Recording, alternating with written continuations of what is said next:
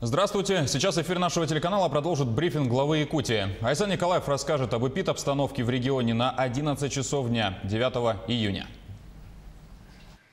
Арсен Сергеевич, здравствуйте. О текущей эпидемиологической ситуации в нашей республике.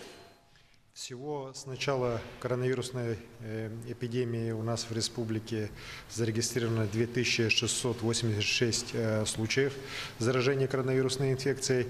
Из них за последние сутки 75.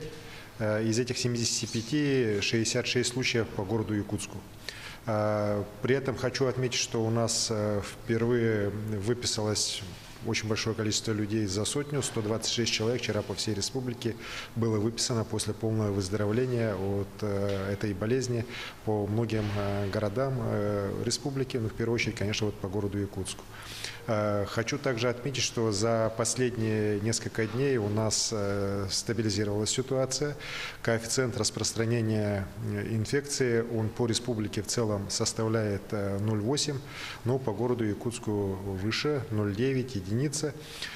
Для того, чтобы мы могли начать снимать согласно вот требований Роспотребнадзора ограничения, нам необходимо, чтобы коэффициент вот распространения инфекции у нас был ниже единицы. Я очень надеюсь, что в ближайшие дни мы мы сможем удержать этот э, уровень заболеваемости, не допустить его роста.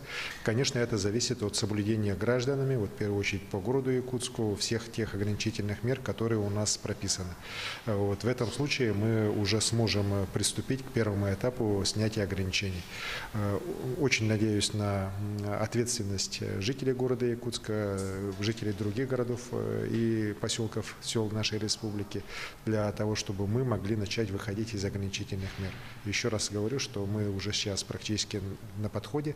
Вот необходимо в ближайшие дни не допустить увеличения заболеваемости. Вот. При этом, конечно же, болезнь, еще раз говорю, она поражает и э, детей, и старшее поколение. У нас на сегодняшний день 13 человек в тяжелом состоянии, из них трое на аппаратах искусственной вентиляции легких. И вот как э, сейчас показывают данные Роспотребнадзора и Минздрава Республики, у нас увеличилось количество детей среди заболевших. В последних случаях где-то ну, порядка 20% новых случаев – это дети. Поэтому и к детям надо очень бережно относиться. Это ответственность родителей.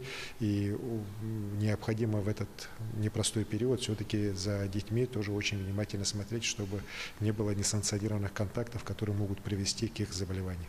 Спасибо. Спасибо.